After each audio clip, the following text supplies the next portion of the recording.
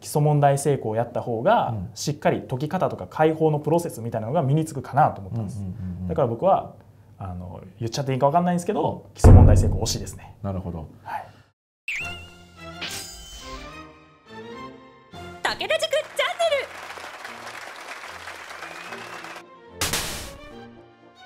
高橋先生。はい。今回の参考書、え比較するものは何と何ですか？1冊目は基礎問題成功。また来た基礎問はい2冊目はこれでわかる数学。来たね。この2冊を比較したいと思います、はい、はい、じゃあこの2冊やっていきましょう。本日の参考書はどっち？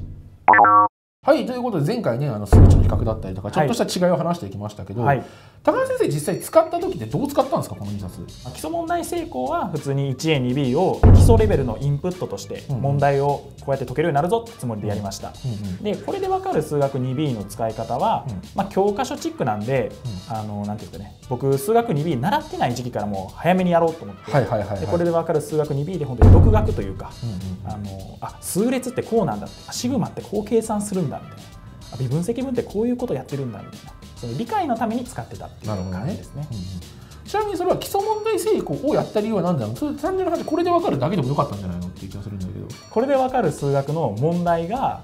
僕はちょっとそのなんですかね教科書の例題みたいな感じじゃないですか。ああそうだね。だから公式できますかみたいな、うんうんうん。生きた問題じゃないかなって僕は思ったんですよ。まあ、学校の定期と対策チックな問題が多いよね。入試に出た問題っていう。よりは。はい、でじゃあ模試に向けてじゃあ成績上げていこうって思った時に、どっちやればいいかなって思ったら基礎問題成功をやった方が、しっかり解き方とか解放のプロセスみたいなのが身につくかなと思ったんです。だから僕はあの言っちゃっていいか分かんないんですけど基礎問題成功推しですね。なるほど、はい、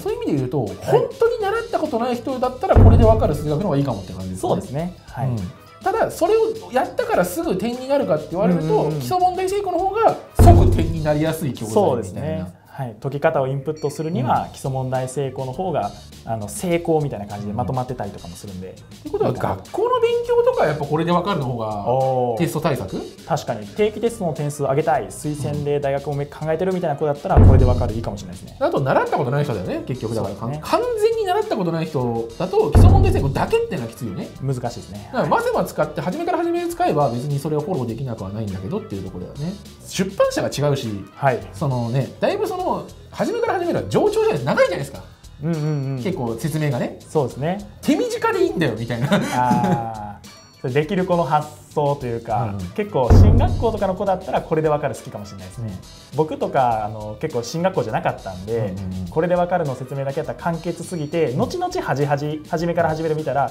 初めから始めるのが分かりやすいじゃんって思ったことはあります、うんうん。はい。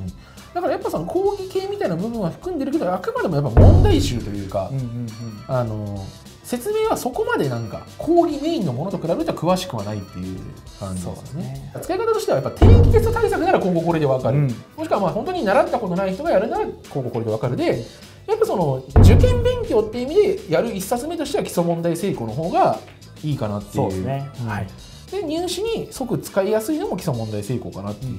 ところ納得です、はい、うん、まあそんな感じの2冊でした。今回は以上です